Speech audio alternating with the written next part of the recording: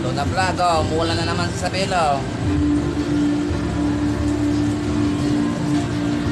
Umulan, umulan dito sa Isabela City, Kawayan, oh. Mula ng March 3.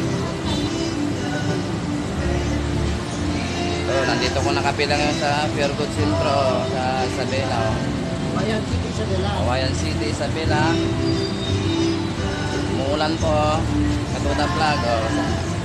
Siyak ni Juan ni Rafael Calorime Katuda vlog ah. Pa-share po eh. Pa-share po. Pa-like po ah. Pa-like po sa inyo lahat ah. Salamat sa mga nag-share sa akin mga video. Wala pa kasi tayo ngayon. Ito oh. Wala naman. Sigurado mababasa naman mga driver driver. Talaga. Kawawal naman tayo, mababas tayo.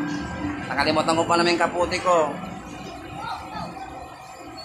Iniwan ko pa naman sa bahay, babalikan ko mamaya. Oh. Ayan oh. Medyo yung ulan niya po, ano lang, konti lang po ulan niya po.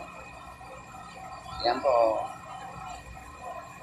Kita po dito yung pila namin po, dito ka nakupo kami dito. Pag may pasero, sasakay namin po yun. Oh. Medyo may na po yung ulan lang po, may na.